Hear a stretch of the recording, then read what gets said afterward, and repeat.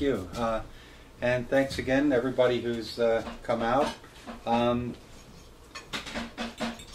to make long stories shorter, uh, we have a brochure. It's on the literature table there that explains what we do at Coffee Strong. Um, we're uh, an, a pro GI anti war organization. Um, we used to be in the coffee shop business, but not so much anymore. Although we always keep a pot of free coffee going, so if you drive by and want some free coffee, stop in. Um, but mostly uh, what we do is we deal with uh, GI rights. Uh, this is uh, for active duty soldiers or uh, sailors or airmen, whatever, uh, members of the armed forces who are facing problems within their chain of command.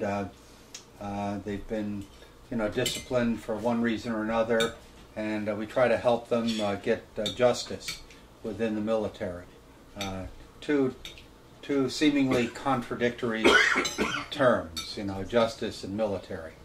Um, so uh, uh, we also help with uh, veterans benefits. Dennis is uh, one of our independent uh, accredited veterans benefits counselors, and uh, we help GIs file for VA claims and appeals when the claims are, you know, less than adequate for the, the the GI who submitted claims uh, or they've been denied, we've, we've helped them file appeals.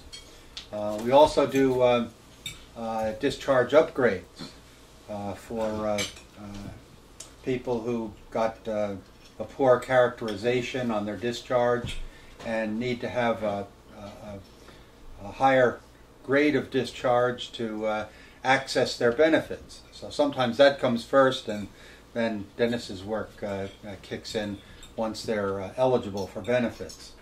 Um, Aaron uh, helps with the discharge upgrades. Aaron uh, over there, uh, there you are. Um, and then we also help with a variety of other civilian type legal issues that active duty and veterans face. anything from domestic issues to landlord-tenant disputes and so on. So we try to uh, help out with, uh, we have uh, uh a couple of attorneys that help us um, advise uh, uh, people on how to proceed with claims they may have in civil court. Um, so that's, that's what we're doing in a nutshell. We also try to educate the public about the total costs of war uh, and militarism uh, so that they can uh, better understand that uh, uh, this is not, you know, militarism isn't some sort of remote issue, but it's a, a central issue in the way our society functions. And many other issues are, are intricately related. For example, Graham has been involved in uh, uh, the Shell No campaign, the Thai activists, uh, and uh, the largest consumer of fossil fuels in the world is the United States military. So, and that's one reason we have such a huge military and why we continually uh, uh, project power in regions where we want so much not necessarily to extract but to control uh, oil reserves, natural gas reserves, and so on. So it's mostly about projecting power. Our policy is, our foreign policy is geared toward projecting military power so that we can control energy resources in the world. So that's just an example as to how uh, our um, military, um, as Eisenhower called it, industrial complex, um, helps determine a lot of our national priorities, our uh, um, uh, global priorities. Um, so, like one hand washing the other. Um, we, we are always looking for people who are interested in volunteering in one capacity or another. So there's some orange cards over there you could pick up and fill out an orange card uh, and let us have your uh, information where we can contact you if you'd like to volunteer some time or have a special skill or talent that you'd like to offer. Um, and uh, I want to thank uh, Media Island uh, International for welcoming us today and uh, sharing in this event. Uh, without further ado, I'm going to present Graham Clumpner. Graham is an, an Army, ex-Army Ranger who was deployed in Afghanistan, Operation Enduring Freedom. Um, always got to laugh at that. Yeah, everybody smiles. It, it's enduring anyway. Uh, enduring is yes. Uh, okay, um, so uh, Graham is going to talk to us about uh, uh, the changing face of uh, the global scene and how that is likely to affect our ways of responding to it. Um, so a lot of the rivers come through Turkey and then down and spread down into here and dissipate once you get down into these areas. So they're incredibly dry. Um, so the farther south you go, the less access to fresh water you're getting. And Syria, since the 1970s, has been ex- experiencing a yearly decline in annual rainfall. Uh, in fact, since 1971, Syria has lost 30 days of rainfall a year. And that is drastic for a country that is incredibly based on uh, agriculture. So, as uh, you know, th- this is this is problematic because climate change uh, is one forcing of many, many different forcings, whether they be political or economic or historical. Uh, but climate change, if you can imagine it this way, think of yourself as a nation state on a diving board. Climate change is the thing that kicks you off into the pool. And in our case, the pool doesn't have any water.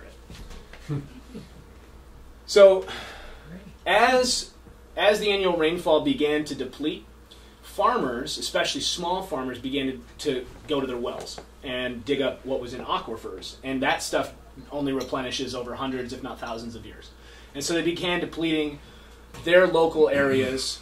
Um, and this was coupled with two things. One was the Middle East moving from socialist government into more uh, westernized capitalist uh, governments. Oh. And they privatized everything.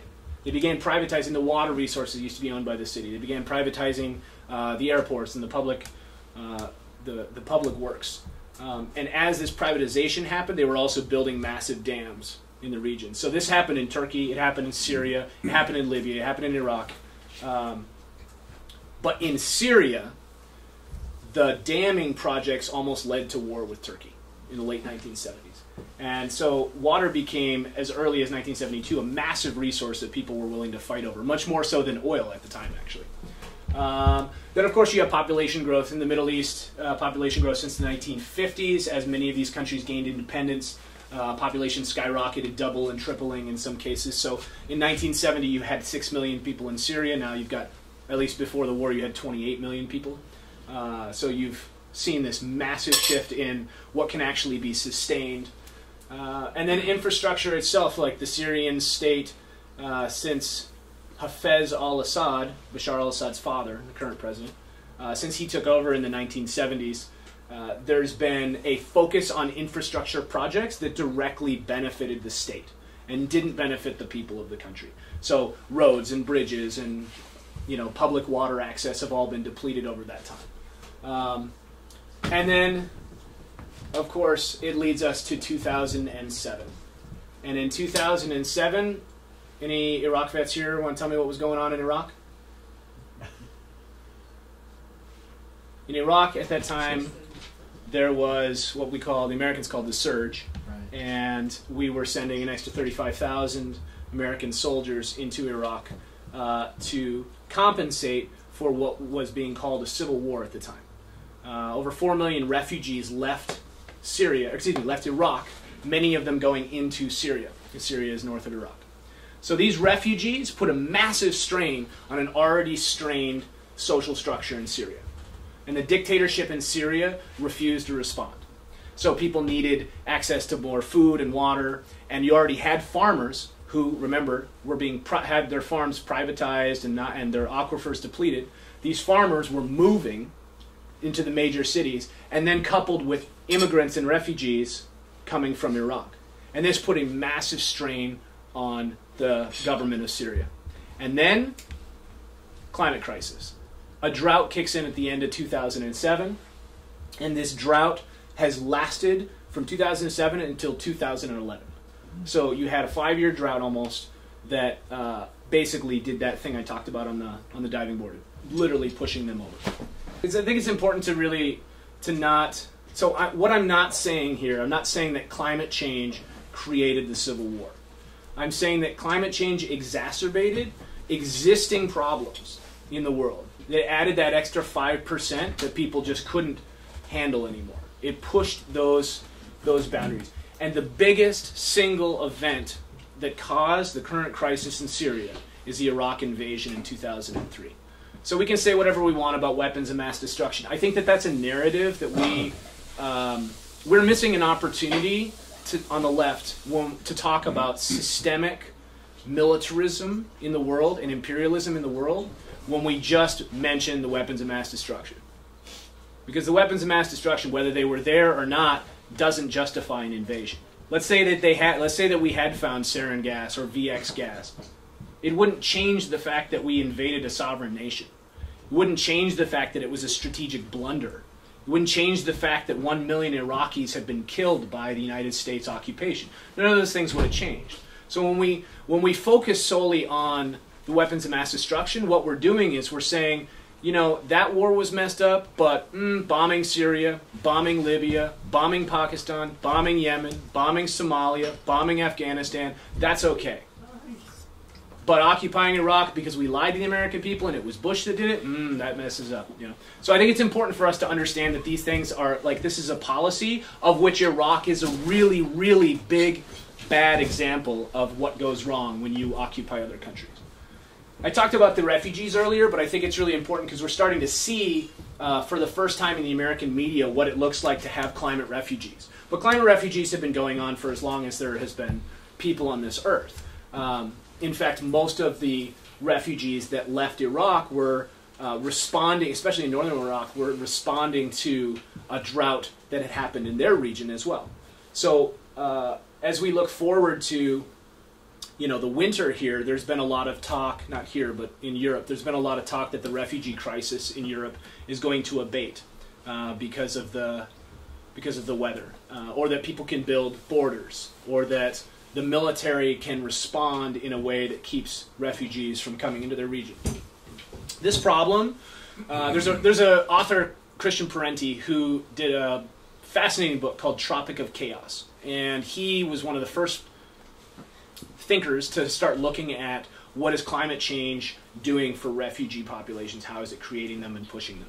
Uh, and I encourage everybody to look at that. But he looked at um, a number of centers around the world, and I've got a map at the end of this that I'm going to show you the top 20 most climate challenged cities and places on the earth where the U.S. military and NATO are looking at this as the top conflict areas in the future. And you'll be surprised because two of them in the United States.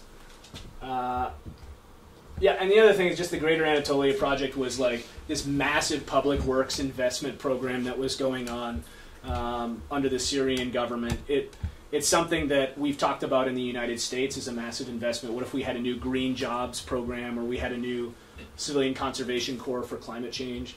Uh, it's important to think about like the effects of that. You know, seventy percent of our energy in this state comes from dams, um, so we're actually, you know, like we're in a situation where we don't use a lot of coal, we don't use a lot of uh, fossil fuels that or traditional fossil fuels, um, but it takes a lot of fossil fuels to build those dams. A lot of those salmon can't die up the river and provide the nutrients. So there are like we have to think about consequences. We can't just keep uh, having these one-off reactions where we have a problem and then we have one solution. We've got to start thinking a lot longer term because climate change is creating uh, it's called stochastic effects. It's unpredictable, multiple scale effects that happen, uh, and we need like systemic policy shifts and predictions to be able to adjust to that. So, what happened in Syria? Uh, in 2011, the Arab Spring was sweeping across the world or across the Middle East, and I think probably all of us in this room were cheering and very excited to see this. Um, what we heard from for the first time since 9/11, really in our media, was people of Arab backgrounds and uh, a lot of Muslims in the region demanding democratic, free conversations, representation, using the word freedom um, demanding open assemblies, nonviolence, uh, and these were these are not new concepts in the region, but these were new to the American people to see this, and for a lot of folks in the world. Um, after after Tunisia, the Ben Ali in Tunisia fell, uh, and then Mubarak in Egypt fell. Every single political pundit and military expert and government official, if you had asked them, would have told you that Bashar al Assad, the president of Syria, was next. Even Russia, the biggest patron, the biggest supporter, the one who is now flying missions for uh, the Syrian government, even the Russian government thought that Bashar was going to fall. And he hasn't fallen. In fact, he's probably stabilized himself more better than anybody else in the region.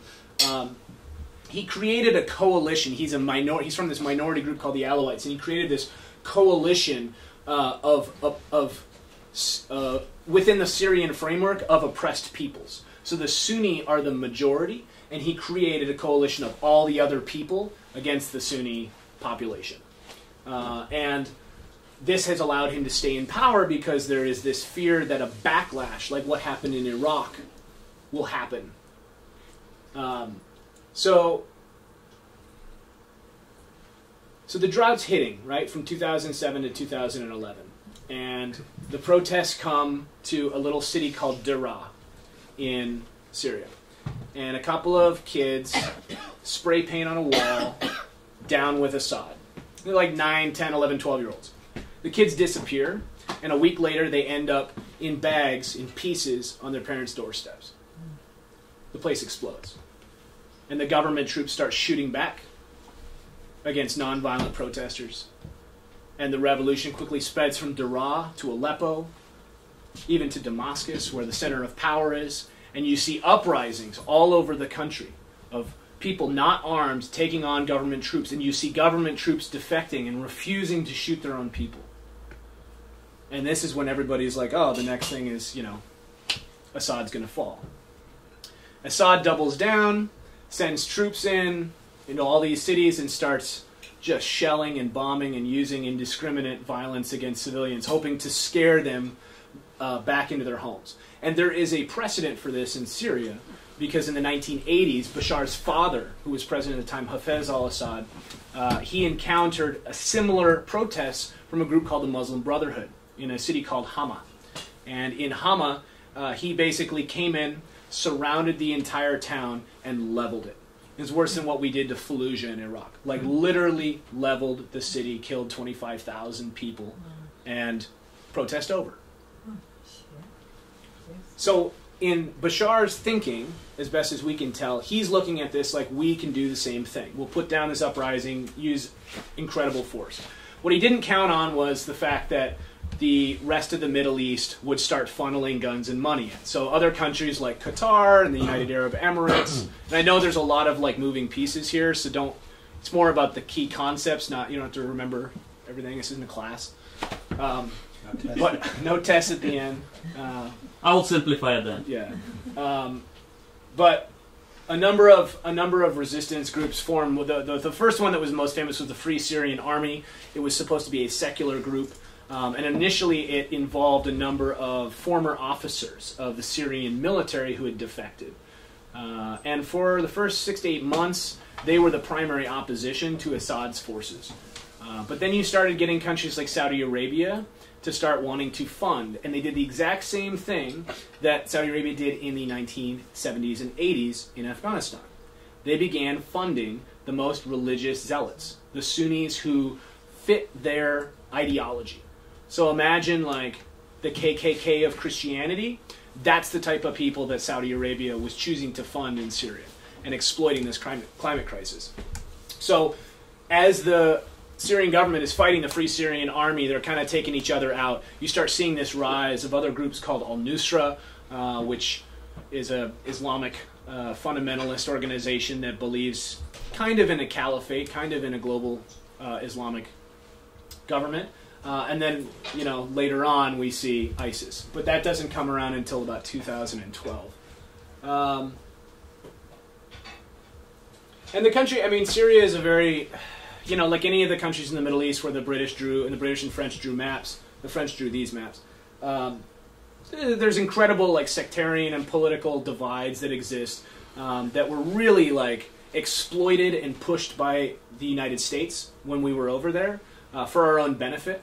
Um, so we looked at like again, this is an example of those those one step ahead thoughts that we have instead of seeing 20 steps ahead.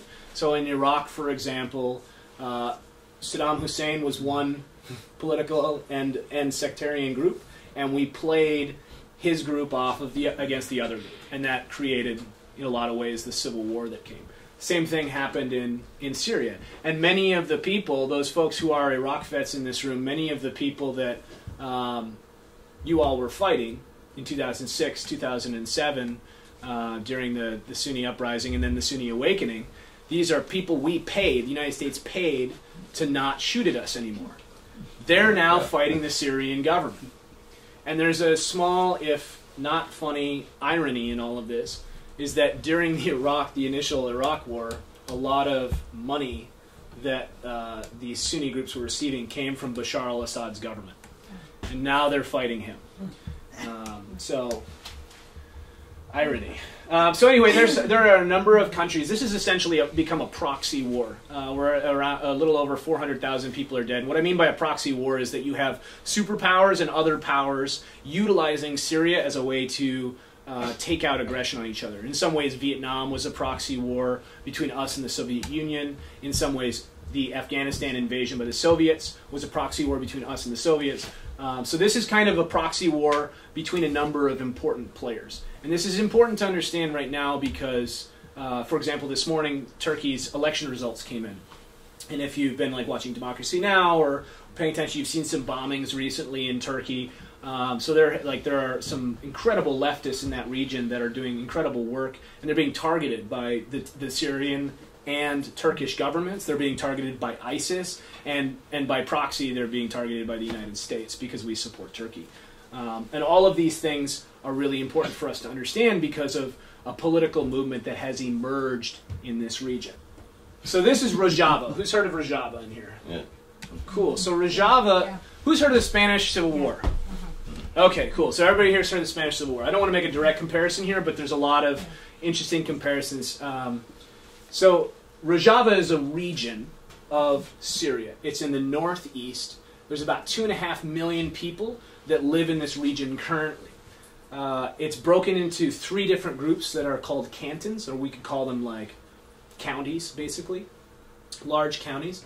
Um, and in this region, an autonomous, non hierarchical social structure has emerged out of the Civil War. So what we see in the media is we see ISIS. We see these people, you know, beheading people, sex slavery, all these like horrific, incredibly uh, disturbing images and ideas. But on the flip side of that, we've also seen, um, as a response to the chaos, an understanding by people who have been oppressed for a long, long time that we need to that they need to find ways across political and sectarian boundaries uh, to come together. What has happened uh, in this region is what is being called democratic confederalism. Um, so, another weird history lesson. In the 1970s, in Turkey, there was uh, a dictatorship, and a leftist student uprising began. Uh, some of they're basically demanding the same types of rights that we uh, saw demanded out of the Arab Spring. And out of this came an organization called the PKK, or the Kurdistan Workers' Party. Um, the PKK directly uh, fought a war against the Turkish government, uh, and they were Marxists for a long time. Uh, they have since evolved, or said that they have evolved out of that into a, a more horizontal, uh, less hierarchical, uh, still using Marxist analysis, but a different way of, of, of structuring their organization. Um, and the PKK is considered a terrorist organization by the United States, by NATO. Um, it was a precursor to Turkey joining uh, NATO that they basically held over our heads and said, you have to the United States needs to recognize the PKK as a terrorist organization if we're going to join. Um, and a civil war was fought. Over 40,000 people died. Um, you know, villages were bombed by the Turkish government. The PKK set off car bombs. It was a it was a bloody and vicious civil war um, that is that reached a peace deal a couple of years ago, but spawned a whole new generation of leftist thinking in the region. Um, so you have this group of people called the Kurds, uh, who are splayed through four different nations. They're in Iran, they're in Syria, they're in northern Iraq, and they're in Turkey. And for the longest time, they've demanded their own homeland, their own autonomous area where they can live. And the governments of those four countries have decimated them, exploited them. So, for example, in Turkey, it's illegal, or it has been illegal for over 40 years to speak Tur- or to Kurdish. Kurdish. You can't speak it. Uh, you can go to jail for that. Um, to, to sing your own songs or eat your own food, like you just you can't do those things. So, one of the leaders, this guy named Abdullah Öcalan, uh, came out of this movement and was a big part of the PKK for a long time until he was in prison in 1999. He's on this island in the middle of Turkey. And uh, during that period, he went through a mind evolution. And he began reading books by um, a very famous American ecologist and anarchist named Murray Bookchin. Uh, and out of reading Murray Bookchin, he came to believe that there were some key uh, changes that needed to happen with the ideology and the framework of how the PKK was was was approaching things. Um, so, probably the most like radical thing that, that he advocated was the idea that at the core of every decision making process should be ecology and feminism, or or or the flip side of that, like thinking about how patriarchy affects us and how ecology is an opportunity to to address issues. Uh, and this is something that began to be pushed into all the decision making processes of the PKK and its later evolutions. So, why is this important to Syria? Well, uh, Syria is dealing with a massive climate crisis, is dealing with a massive civil war, and is dealing with an incredibly paternalistic and patriarchal society. So, addressing these things, it's almost like his ideology or this idea was perfectly set up for Syria. And in fact, it was developed for Turkey, but has spread to the Kurds in Syria. Um, so there's debate among the United States and among a lot of like intellectual thinkers about whether or not the PKK has actually left behind their their former Marxist framework, their Cold War Soviet style uh, framework. Personally, I think that they have. Um, there is some evidence to the contrary, but I think in terms of Syria, what we've seen is that there's one organization, one group of people that are actually beating ISIS on on a regular basis, and it is the people of Rojava, the Kurds of Rojava. And and one of the reasons that they're doing this is because they're involving everybody in the society. So there is. Um, well, before I get to that, I just want to highlight a couple of things. So one, another one of the frameworks that is really important within um, democratic confederalism is this concept of mutual aid. And mutual aid comes from a person named Peter Kropotkin. He was a contemporary of Darwin. He's a, a very famous anarchist, uh, deep thinker, went to Siberia and did all kinds of nature studies and natural history for five years and, and came up with um, this opposite idea of, you, know, Darwin talks about competition uh, as, as, a, as a massive part of natural selection.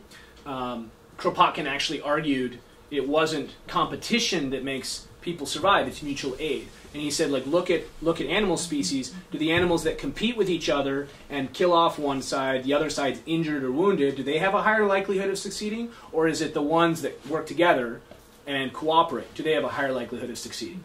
And that's basically the simple idea about mutual aid. Is the idea that as opposed to competition, we can actually work with each other and we have a higher likelihood of success if we work together. And so that's like a key component uh, within democratic con- confederalism.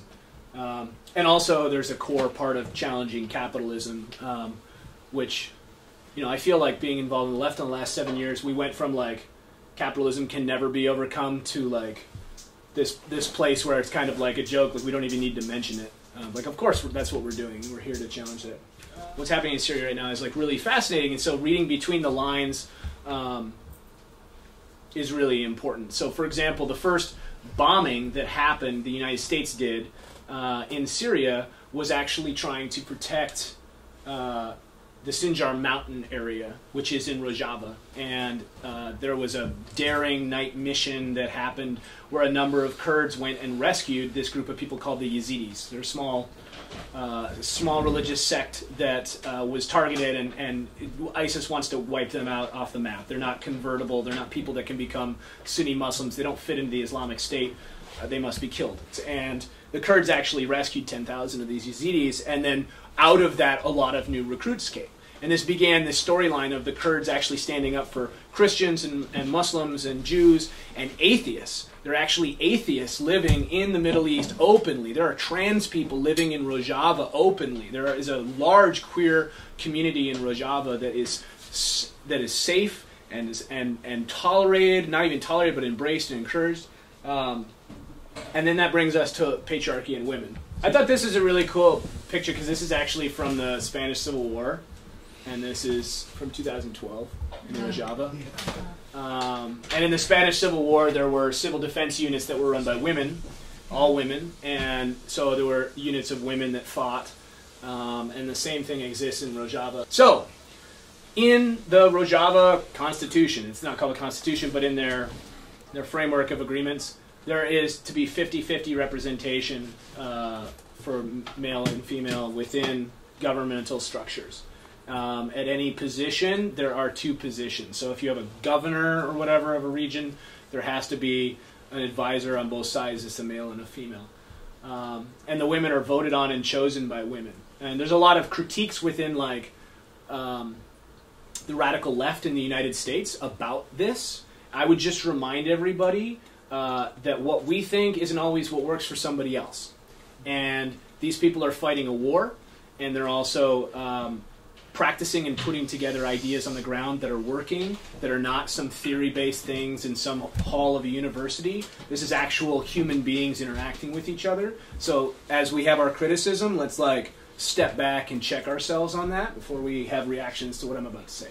So, um, these within the Constitution, these things are banned: child slavery, forced marriage, domestic violence, honor killings, polygamy. They actually have female units dedicated to each individual one of these as investigatory units. So like a weird FBI police force that also like goes into homes and focuses on domestic violence. They do education uh, trainings. They, I mean, it's just incredible some of the things that they're able to do while they're being shelled by ISIS. Um, the belief is that sexism is a root cause of systemic oppression and slavery. That uh, unless we understand this and we start addressing this on a root cause, we can't actually do this. Another key part of this that is uh, more of a feminist framework is decentralized power. That in every decision making process, they're asking themselves, how can we not have this go up another level? How can we make this decision ourselves? How can the people who are directly affected by this be the ones who make the decision about it? Um, and then refugees. So uh, this is actually a demographic challenge. As of a couple of like two months ago, as of two months ago, um, Rojava itself is experiencing some serious challenges. They're having more female refugees than male refugees, um, and that pr- produces any number of problems. Although the framework of their society is actually like helping them stabilize that a little more because they have all jobs are open to women, all, all parts of society are open to women. So it's not like they're saying, well, we need more men to fight. Like, well, they're the, the PYJ, which is the women's uh, militias. They're they're fighting, and they're and so, and I would also say like it's interesting. The Western media has picked up, like even the Army Times had a cover story on the PYJ, which is the women's fighting group. So you, so like they they pick out women who are like. a certain type of attractive in the Western media, right? And like what they think will gain will gain like attention, and they're you know Fox News is even talking about this. They don't want to ever talk about why these women are fighting or what they're standing for, or where their culture comes from. But they're like, look, it's a sexy woman with an AK 47. Isn't that cool? Next topic. Um, so that's something like that we need to also just be thinking about that's happening uh, and being utilized within our media. The refugees, the refugee problem is um, both challenging within the Middle East, but as Malcolm X said, uh, the chickens are coming home to roost. And those chickens are now tens of thousands, hundreds of thousands of refugees streaming into Europe through broken um, border systems in Greece. So there's a you know your own economic challenge that's happened from the from the economic crisis. Like the Greeks can't even uh, have functioning borders. Um, so that's leading to a whole influx because Greece is part of Europe and the northern border of Greece doesn't have the checkpoints that the southern border of Greece is supposed to have. And so you're seeing places like Germany talk about taking up to 1 million refugees over the next two years. Um, you're seeing major expenditures of military uh, funding and demands within those countries. For example, Poland just added another $15 million to their military budget, which doesn't sound like much to us because that's like 15 bombs, but to Poland, it's a pretty big deal. Um, and this is a picture of, of actual Syrian refugees coming into Lesbos um, off the Greek coast. And I mean, I can a lot of these things we can talk about afterwards. I don't want to keep talking, but uh, if you have questions about like the, the, current refugee crisis and what that's looking like, we can talk more about that. Um, cool. Damn, this didn't come in as well as I wanted to. These are the top 20 uh, climate slash conflict areas. I'm sorry, it's not the greatest, but this is uh, what the U.S. military is projecting for top places. What's interesting is that like th- there's a reason for this, but it's interesting because the Middle East is not like highlighted on that. Yeah. Um, those are already conflict areas, so these are potential conflict areas in the future um, to add to our already existing ones. Uh, and most of these are based on lack of access to water uh, or or closeness to flood and um, storm surge areas. Um, but yeah. So disaster activism. So um, again, I don't want to trivialize this and say that like this conflict was caused by climate change, and I don't want to, to tell us that like all we need to do is pull our bootstraps up and suck it up and we'll be fine. Um, but I think that I think that we've been reactionary for so long in our organizing, in our political work, and we need to we need to start having ten year plans. I'm not talking like Soviet style 10 year plans. I'm talking like vision. I'm talking alternatives. We don't have to make the case anymore in the United States that climate change is real. Those people who are denialists, they're done. They're over. That we have in the last 3 years we have won that battle. It is not going back. But when those people who do change and come to us and ask us, okay, so I believe in climate change, what do we do? And we say, oh, uh. But I mean, we need to have alternatives. And there are folks that are thinking about it, but we need to be thinking about this in ourselves. Like, what are those alternatives that we're offering when we shut down logging in the North, Pacific Northwest and we make all kinds of young white men unemployed? Those young white men have kids. Those kids are the ones who live in Oregon and live over here in our cities that are losing employment. These are kids who grew up with their dads being pushed out because of a spotted owl. We, whether or not we're accountable for that, we have to deal with that we have to work through that. When we say like you shouldn't drill in the Arctic, we need to offer those eighty-five thousand dollar a year union paid jobs that shell workers have. We need to find them another alternative. I'm not saying it's all on us, but we need to be thinking about those things, or we're going to have blowback. We're going to have this in five, ten years. We'll fix one problem and create two more. So oh our vision needs to expand. It's interesting. We've been talking a lot about police brutality uh, and how police have like this dangerous job, right? It's actually one of the safer jobs like landscaping is more dangerous. Number one, number two jobs, climate change jobs. One of them's logging. Number two, coal.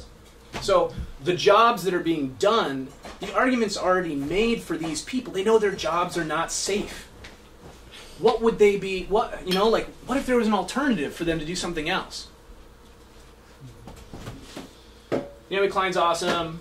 Corporate history of disaster capitalism. Uh, I mean, that's essentially like that's what capitalism is. It's an opportunistic take advantage of situations when things go bad. Like how do we how do we make a profit out of this? How do we monetize this? When when Katrina happened, the first thing that went in in terms of reconstruction was new. They leveled they leveled all these poor neighborhoods that they could say were like not safe. They put in all these resort areas. You know that's what's and that's what happened in the Rockaways in New York. Like when there's climate crises. Um, you know, Iraq is, a, is an exa- example of 9/11 being used as an opportunity right? They had those things on the on the on the they had the book sitting on the wall waiting for an opportunity to be able to do it. And when 9/11 happened, it was like, "Oh, there's our opportunity. We can get more money to the police. We can crack down on on political dissent in this country. We can invade and occupy oil fields. Like we can get resources." They all wanted those things, but they didn't have the opportunity to do them. We should be thinking about that too. We should be thinking about like when the banks fail, what's our alternative to that? so that people are coming to us for solutions. When and that's an extreme example, but like in this community, what would it have been like if we had had a framework and a movement already when the police officer shot two young black men? As opposed to having to create that framework in crisis. What would that look like to have that beforehand to be ready to go and ready to say, you know what, actually, we need these three things. And you're going to do it right now, Mr. Mayor and City Council, and you're going to do it, or else we're going to. Mm-hmm we're going to take these steps, you know? we've been working on that and creating that, and good work goes into that. But I want to see that vision.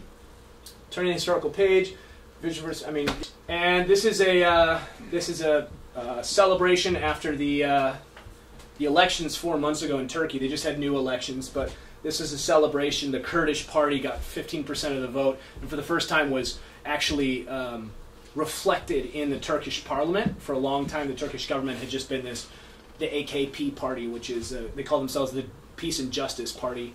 Um, it's a it's an Islamist uh, framework government that is like top down, very dictatorial, um, repressive, unless you're a Turk. Uh, but this was a, a, celebration. These are all colors and flags from the from the Rojava region, the PYG and the PYJ, and this is in like Istanbul. So it's come a long way. The um, front one says Azadi, which means freedom, liberty, and feel. Yeah, right there. Yeah. Yeah. So that is my presentation. Um, I'm totally down to take questions and chat through stuff. Okay. What, what is uh, what's uh, who, you said ISIS is uh, coming down on Rojava. What's like Americans and Turks and the uh, Iranians and all them? What's their like? What are they doing about Rojava? Yeah. So the question was uh, so the question was like ISIS is, is going after Rojava. What is what are all the other players in the region? Iran, Syria, Turkey, United States. What's what's the, the framework? What's happening between them? Basically? Yeah, I'm just wondering what yeah. their policies are. Um, okay, so first and foremost, it's important to understand that uh, there are a lot of different alliances. There's there's there's two different things that are important. Shifting. Yeah, the United States and Russia are battling each other for influence in the region as well as Iran and Saudi Arabia. And so Iran is allied with Russia. Saudi Arabia is aligned with the United States. So everything that's happening in this region has to do with that relation, that that game that's being played.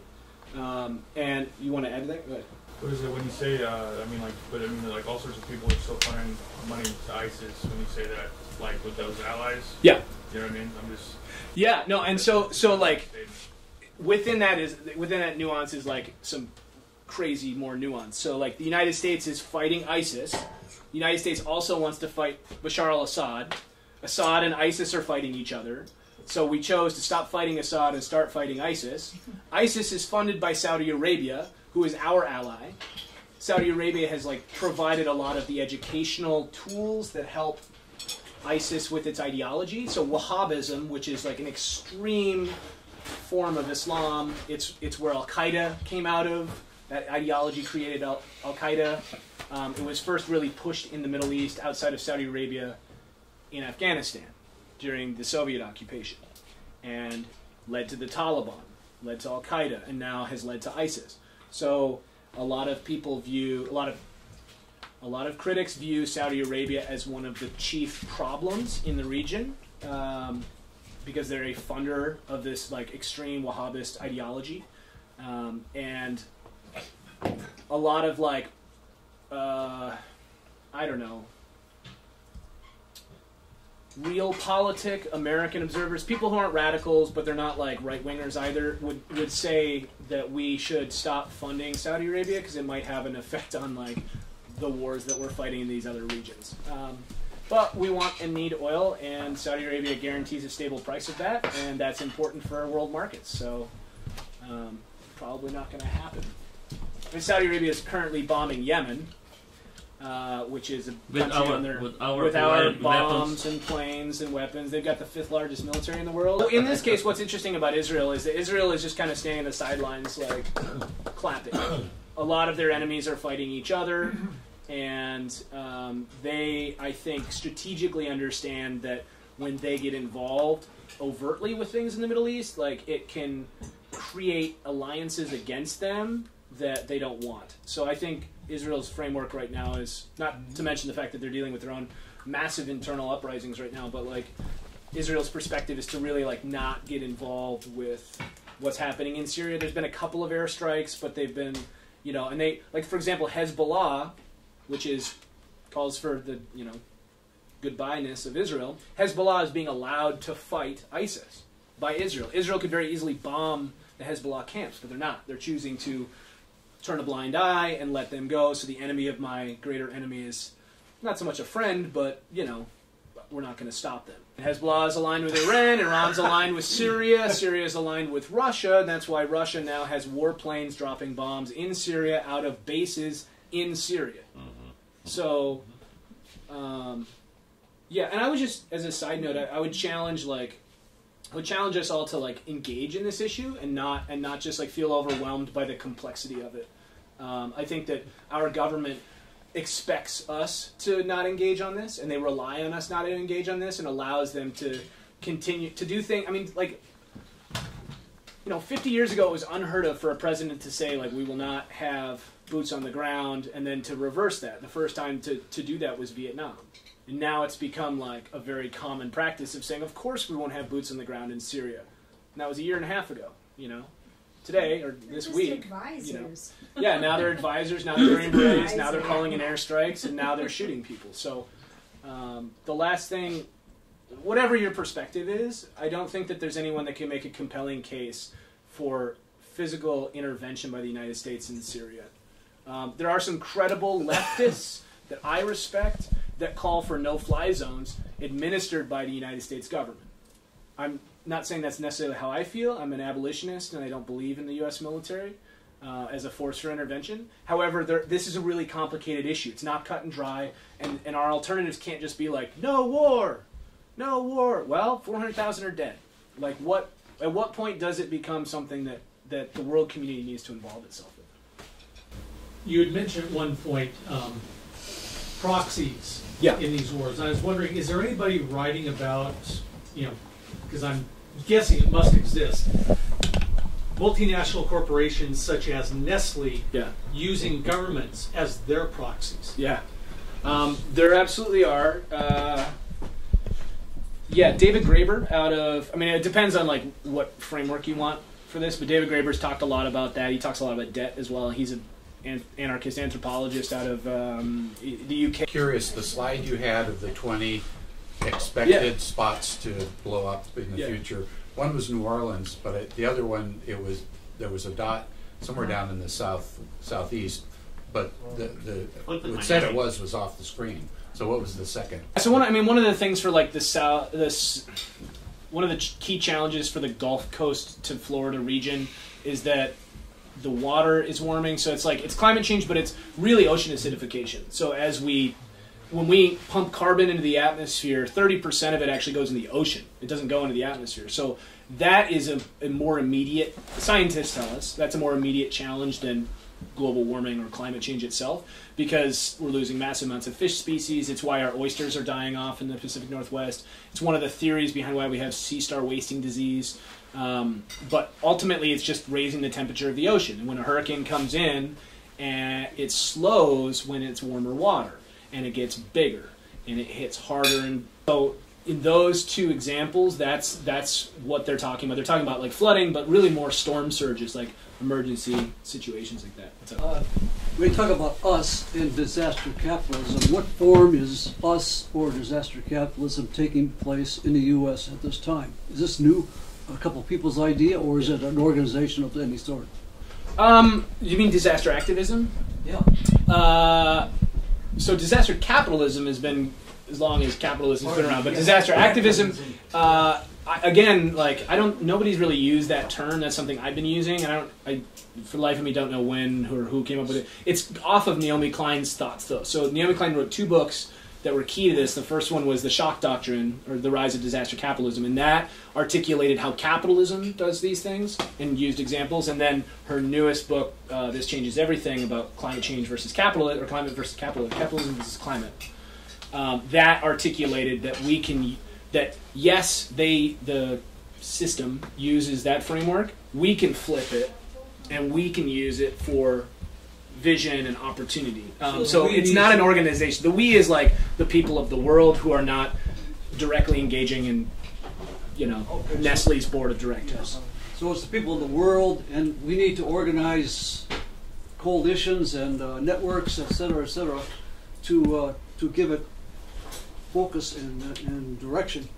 Yeah, I think um, I think like a lot of the Shell no work that's happened recently. I mean, what we saw in the Pacific Northwest with y'all know what I'm talking about when I say Shell no. Yes. like the Shell Corporation trying to drill in the Arctic. Um, a lot of that work that we saw was like, oh, people hanging from bridges and people in kayaks, and that's sexy and is awesome uh, and should be lifted up. And also, you know, 30 years of indigenous resistance set the groundwork in Alaska for that. Like, if we didn't have people or like indigenous people organizing with union reps and creating the places where we slept in Alaska, where we were able to to, to make those in, initial connections, the first name bases, or like the work that's happening with the coal and oil trains right now is a coalition of like multiple different groups. It's not just where the coal export terminal happens; it's where the extraction point is. It's the transfer point. It's the um, it's the ship off point. It's the reception on the other side of the world point, and it's then the distribution point. So there's like five points of intervention and getting people at all those levels. So I think that's like an example of the vision um, Yeah. going forward. But if there were- if there was more uh, body to it to, in terms of organization, not in terms of concept. right, And that disaster activism makes a lot of sense. We all have a common opposition, which is the climate, which is what we're causing. We're all taking Right. part in that. right. So Yeah, two things on that. I think one, um, it's a new, newer, newish concept, and it's uh, that's fine, and, and so we're evolving on that. And and I, the second part is I, uh, it's not us. Uh, all of us in this room for the rest of our lifetime cannot do as much damage as Lockheed Martin did in the last five seconds. but In terms of- part in that buys gas, Right. that pays taxes, totally real. cetera, yes, yes, and uh, I think that the sl- self-flagellation that we do on the left, where we like make ourselves incapable of doing anything because we're like, oh god, if I don't, I, I drove in a car today and I, I should have rode my bicycle and like, oh, the roads you want, like, like I'm sorry, we can't be paralyzed by this. We need to understand there are there are people that are guilty and there are people that need to be held accountable and we're going to have an open heart to them to evolve and when they don't evolve we'll do something else with them. But like for the most for the most part people are just born into a system and they are trying to survive they're trying to feed their kids they're trying to live and give their next generation a chance. I don't i don't want us to think like like let's not fall into that trap um, that paralyzes us because they benefit from that when we're out you know like that's that was what they said about the, the stuff in seattle they said like oh your your kayaks are made of oil it's like yes do you have an alternative no that's what we want as an alternative That's right. We got to work it out. yeah gotta flip it I'd, I'd like to respond to that just a little bit. Is uh, I think there's there's a larger conceptual shift that we need to make. Uh, I was talking with Aaron about this the other day. Is that we have a tendency to uh, think of politics as something you do uh, every first Tuesday in November, and then there's like a, a media this show. tuesday There, there's a media show that leads up to that, and it, and it's really about the two mainstream capitalist parties, and and uh, you know, but we need to, you know, remind ourselves that it's politics is an everyday activity, and and the emphasis on activity. It's not something that is you know uh, an election day phenomenon and who wins and who loses, and then we just wait for them either branch of the capitalist parties to, to take care of things for us. It's got to be, uh, you know, something that we're all engaged in constantly, uh, you know, week after week, day after day, year after year, and you know, we need to kind of shift our consciousness and get others around us to to understand that politics is the life of the community, the polis, not, you know. Uh, uh, reduced to you know the, the conflict between two uh, capitalist political parties and and so once we kind of get that in place then then we're empowered to do the sort of thing that, that Graham is talking about to, to build organization and connections and to wield power in the streets because uh, as Howard Zinn once said it doesn't matter who's in the White House it matters who's in the streets around and it and, and uh, so yeah We heard some facts and figures. Now, how does it relate to us, we, the people, here and now? Let's talk about vision instead of reaction. You gave example earlier of how to, you know, people of color get shot and what to do. There was a solution. It will be next year will be fourth year. We're already doing it for three years called Justice No Jails Project.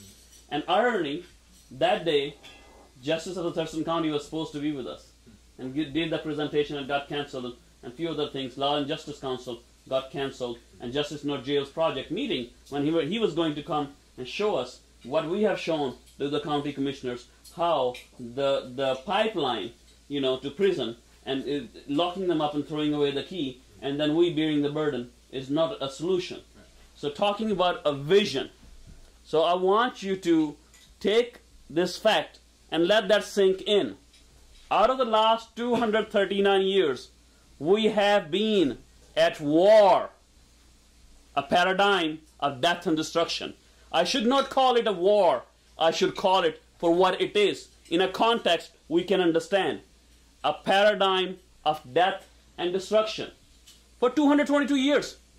Out of 239 years of our young country's history, 222 years we have been in a paradigm of death and destruction, otherwise known as war.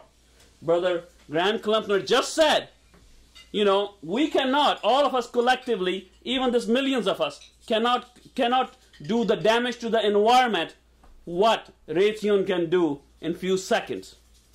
So either we are intellectually intellectually dishonest when we talk about climate change and we do not talk about war. Nothing destroys the environment and, and this wonderful world, our great mother, like war, the paradigm of death and destruction. So we need to look at it. There will be the climate change might not be there if we did not use. There's, I remember a Texas billionaire saying, "There's no activity on the planet which uses oil and fossil fuels like war." And so, one of the examples for an alternative in this region is the work that's happening at Coffee Strong. And so, over the last six years, Coffee Strong has been really focused on developing a community around active duty and veteran personnel of all generations. Uh, with our civilian counterparts to actually challenge issues in this region.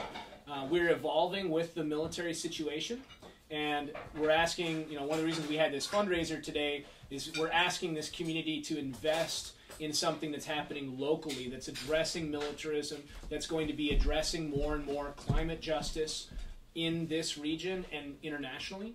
So we're not only asking folks in this room to contribute financially, we're also asking folks to contribute with their feet and their hearts in this movement. Um, but the work that's happening in this region is going to determine what kind of what kind I mean, we set the example for the rest of the United States. We passed marijuana first. We passed gay marriage first. We fought off Shell and stopped drilling in the Arctic.